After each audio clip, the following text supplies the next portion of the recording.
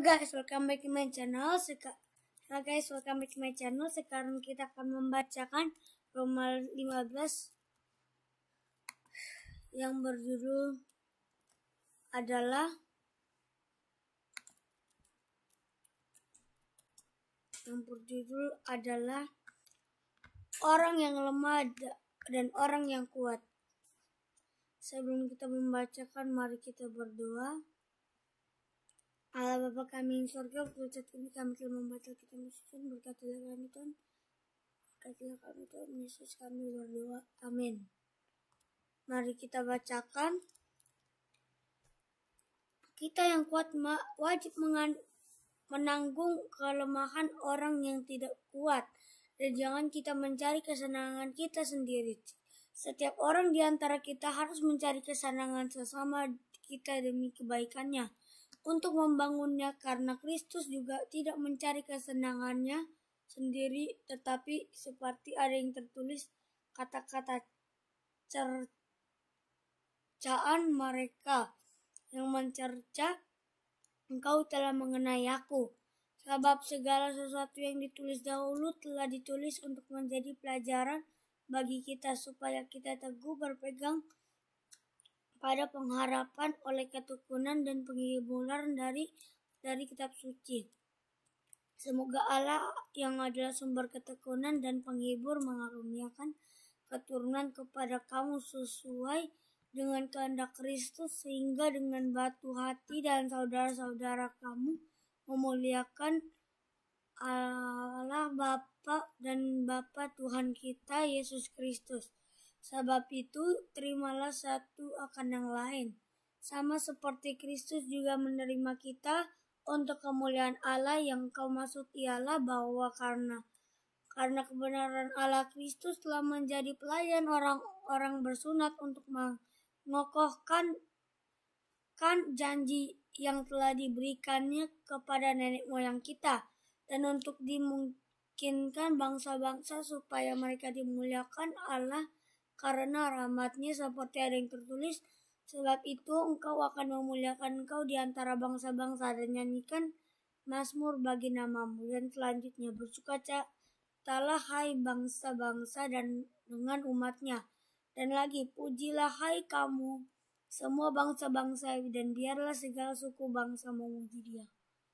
Dan selanjutnya kata Yesaya taruh dari panggal Isai akan terbit dan dia akan membangkitkan memerintahkan bangsa-bangsa kepadanya lah bangsa-bangsa akan menaruh hadapan semoga Allah sumber pengharapan memenuhi kamu dan segala sukacita dan damai sejahtera dalam iman kamu supaya oleh kekuatan Roh Kudus kamu berlimpah-limpah dalam pengharapan. Mari kita bacakan yang selanjutnya. Judulnya adalah Paulus menjelaskan dasar-dasar tulisannya. Saudara-saudaraku, aku sendiri memang yakin bahwa kamu, bahwa kamu juga telah penuh dengan kebaikan dan segala pengetahuan yang sanggup untuk saling menasihati. Namun karena kasih karunia yang telah dianugerahkan kepada Allah kepadaku, aku di sini, di sana sini dengan agak berani yang menulis kepada kamu untuk mengingatkan yaitu bahwa boleh menjadi pelayan Kristus Yesus bagi bangsa-bangsa Yahudi bukan dalam pelayanan pemberitaan Injil.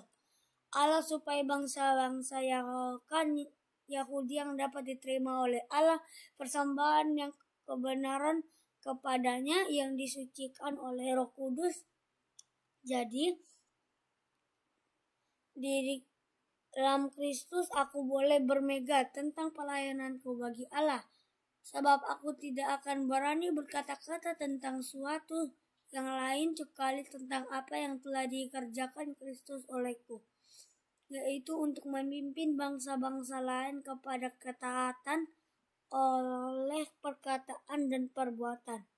Oleh kuasa tanda-tanda dan mukjizat, aku mukjizat dan Aku oleh kuasa roh demikian dalam perjalanan keliling dari Yerusalem sampai ke lirikum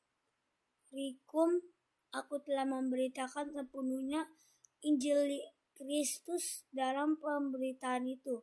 Aku menganggap sebagai kehormatanku bahwa aku tidak melakukannya di tempat-tempat di mana nama Kristus telah dikenal. Orang supaya aku jangan membangun di dasar yang telah diletakkan orang lain tetapi dengan ada yang tertulis mereka yang belum pernah menerima berita tentang dia akan melihatnya dan mereka yang tidak pernah mendengarnya akan mengertinya. Mari kita bacakan yang terakhir judulnya adalah harapan Paulus untuk datang ke Roma. Itulah sebabnya aku akan selalu taklang untuk mengunjungi kamu.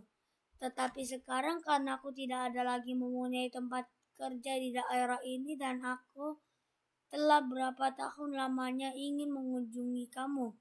Dalam aku berharap dalam perjalananku ke Spanyol dan aku dapat singgah di tempatmu dan bertemu dengan engkau, sehingga kamu dapat mengantar aku ke sana.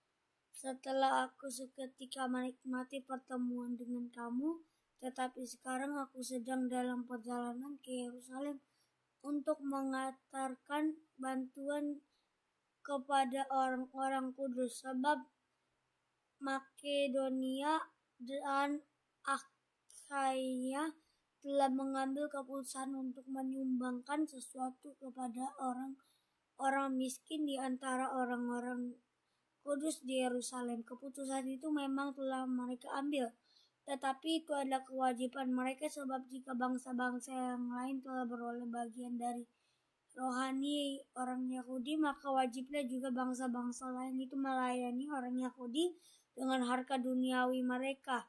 Apabila aku sudah menunaikan tugas itu dan sudah menyerahkan hasil usaha bangsa-bangsa lain itu kepada mereka, aku akan berangkat ke Spanyol melalui kota-kota kamu.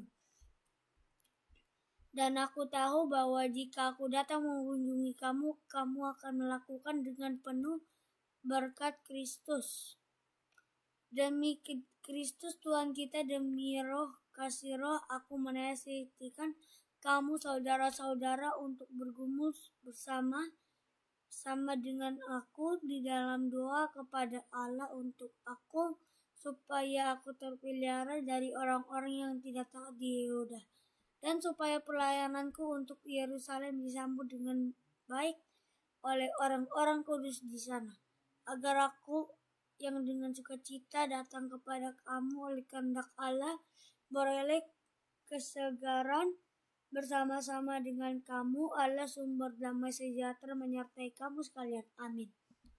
Jadi sampai sini kita membaca sebelum kita mengending.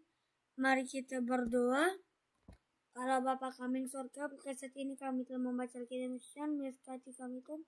Yesus kami berdoa. Amin. Thank you for watching. See next video. Bye bye don't forget to like share to everybody and subscribe. Bye. You next in the next episode.